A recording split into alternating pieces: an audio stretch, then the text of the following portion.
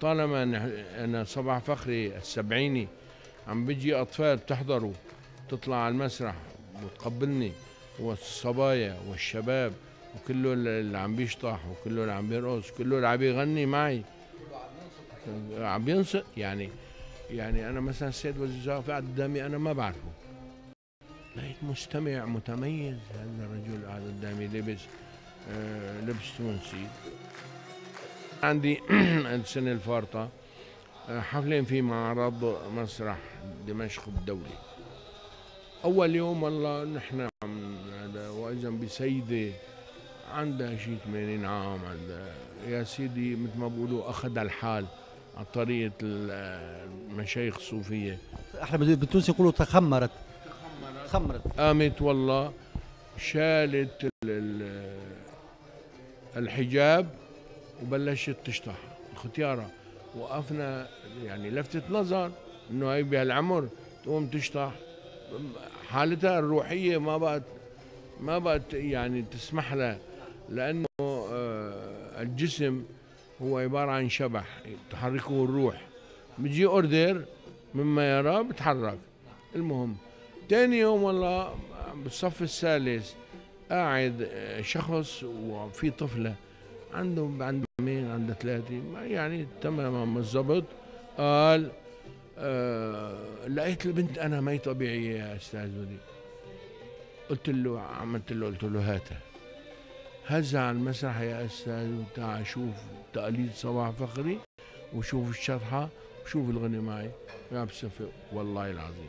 وقفت أنا قلت له نشوفوا طالما نحن الجيل ما بين هذه الأعوام الصغيرة والكهول يضطرب ما نتمنى خوفانين على مستقبل الموسيقى العربية وستظل بس في بتونس هون عن جد شيء بيرفع الراس. بس ما نلاقي شي شباب عم جاية خص نص ليحضروا صباح فخري. على كل حال الله يطولنا بعمرهم.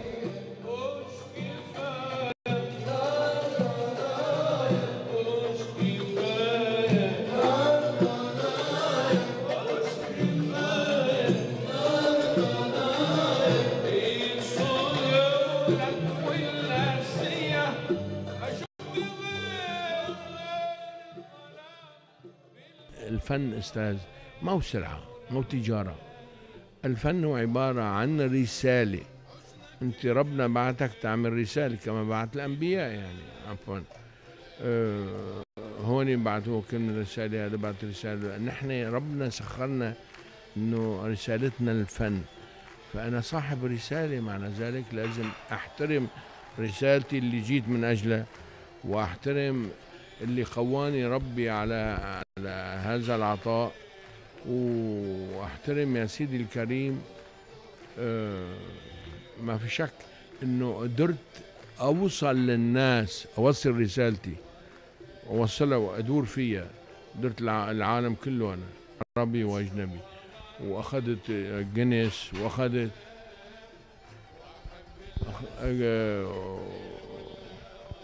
ويعني الحقيقة وعندي خمس مفاتيح مدينة بأمريكا وعندي دكتوراه وعندي قصص وعندي وفي فرنسا كمان مرة صدفت.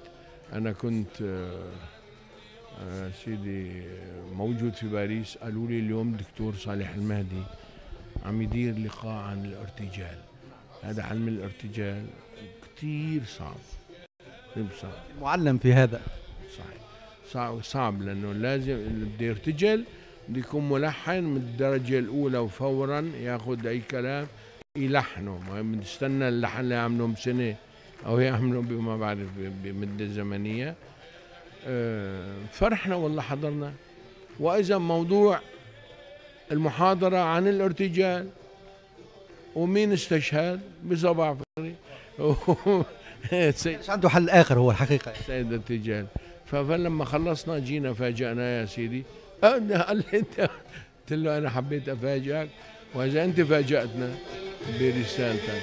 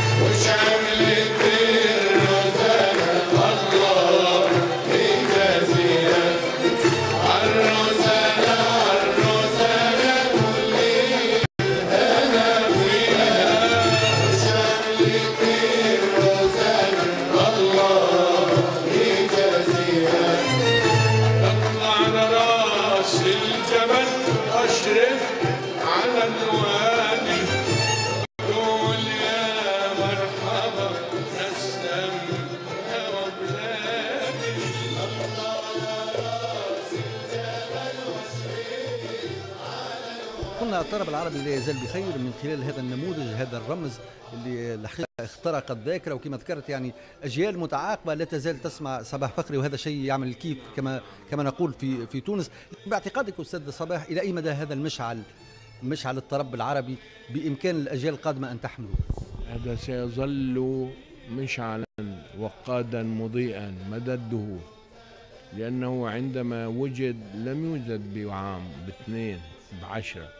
وجد بتراكم أجيال ويضاف إليه مثلا صباح فخري أضاف له التراث. هلا قلت لهم خمرة الحب سقينيها عندها خمسين عام عمرها. طيب تراث تراث. الصغير والكبير يعني آه، تلاقيه يطرى. قلت لهم عندي هلا في كتاب عم أنا بألفه إنه بتصور مع أطفال عم بيشتحوا سنة ونص سنتين. الأطفال كاتب عليها الصورة؟ الأطفال كيف يرقصون؟ وعندي حفل الناس عم تبكي والكبار كيف يستمعون ويبكون؟